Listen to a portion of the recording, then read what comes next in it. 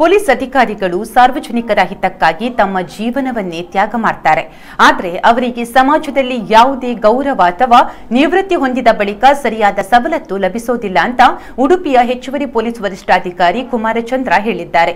ಉಡುಪಿಯ ಬಡಗುಬೆಟ್ಟು ಕೋಆಪರೇಟಿವ್ ಸೊಸೈಟಿಯ ಜಗನ್ನಾಥ ಸಭಾಭವನದಲ್ಲಿ ನಡೆದ ಉಡುಪಿ ಜಿಲ್ಲಾ ನಿವೃತ್ತ ಪೊಲೀಸ್ ಅಧಿಕಾರಿಗಳ ಕ್ಷೇಮಾಭಿವೃದ್ಧಿ ಸಂಘದ ವಾರ್ಷಿಕ ಮಹಾಸಭೆಯಲ್ಲಿ ಅವರು ಮಾತನಾಡಿದ್ರು. ಎಲ್ಲ ಕೆಲಸಗಳಿಗೂ ಪೊಲೀಸ್ ಕರ್ತವ್ಯ ಅಗತ್ಯವಾಗಿ ಬೇಕಾಗಿದೆ. ಆದರೆ ಸಮಾಜದಲ್ಲಿ ಪೊಲೀಸರನ್ನು ಕಂಡ್ರೆ ಭ್ರಷ್ಟಾಚಾರಿಗಳು ಹೊಡೆಯುವವರು, ಶಿಕ್ಷೆ ನೀಡುವವರು ಅಂತ ಭಾವಿಸ್ತಾರೆ. ಸರಿಯಾದ ಸಮಾಜ ಸೇವೆ ನೀಡಿದ್ರೂ ಜನರು ಮಾತ್ರ ಪೊಲೀಸರನ್ನು ನೋಡುವ ರೀತಿಯೇ ಬೇರೆಯಾಗಿದೆ. ಇನ್ನು ನಿವೃತ್ತಿಯಾದ ಬಳಿಕವೂ ತಮ್ಮ ಜೀವನಾದ್ಯಂತ ಸೇವೆ ನೀಡಿದ ಪ್ರತಿಫಲಕ್ಕೆ ನೀಡುವ ಸವಲತ್ತನ್ನು ಪೊಲೀಸರಿಗೆ ಇಂದು ನೀಡಲಾಗ್ತಾ ಇಲ್ಲ ಅಂದ್ರು. ಈ ವೇಳೆ ಪೊಲೀಸ್ ಸಿಬ್ಬಂದಿಗಳ ಅತಿ ಹೆಚ್ಚು ಅಂಕ ಪಡೆದ ಮಕ್ಕಳಿಗೆ ನಗದು ಬಹುಮಾನ ನೀಡಲಾಯಿತು. ಈ ಬಾರಿ ನಿವೃತ್ತಿ ಹೊಂದಿದ ಪೊಲೀಸ್ ಅಧಿಕಾರಿಗಳಿಗೆ ಮತ್ತು ಮುಖ್ಯಮಂತ್ರಿ ಪದಕ ಪಡೆದ ಪೊಲೀಸ್ ಅಧಿಕಾರಿಗಳಿಗೆ ಸನ್ಮಾನಿಸಲಾಯಿತು. ಡಾಕ್ಟರ್ ಪ್ರಭುದೇವ, ಹರಿಶ್ಚಂದ್ರ, ಸುಧಾಕರ ಹೆಗಡೆ ಜಯಕರ್ ಶೆಟ್ಟಿ ಇಂದ್ರಾಳಿ, ಸುರೇಶ್ ಘೆಟ್ಟಿ ಗುರ್ಮೆ ಉಪಸ್ಥಿತರಿದ್ದರು.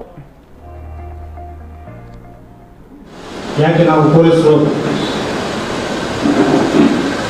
ಸರಿಯಾಗಿ ಸೇವೆ ಮಾಡಲ್ವಾ? ಮಾಡ್ತಾರೆ. ಆದರೆ ನೋಡುವ ರೀತಿ ಆ ಥರ ಇದೆ. ನಮ್ಮ ಡ್ಯೂಟಿ ಆ ಥರ ಇದೆ. ಬೇರೆ ಯಾವುದೇ ಡಿಪಾರ್ಟ್ಮೆಂಟ್ ಆದರೆ ಏನಾಗುತ್ತೆ?